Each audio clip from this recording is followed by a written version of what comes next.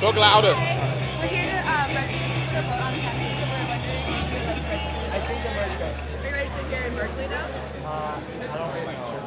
Well, it's, it's always it's hard to re-register. Yeah, a lot of people definitely like We're really excited about getting everyone registered. so long. It takes like one minute. Come on, let's do it. I mean, one song on your iPod is like what, two minutes? This will take like less than that, It's a really. really good song. But you can pause it. That Awkward. That was awkward. See, that's why you should. That's why you should have voted.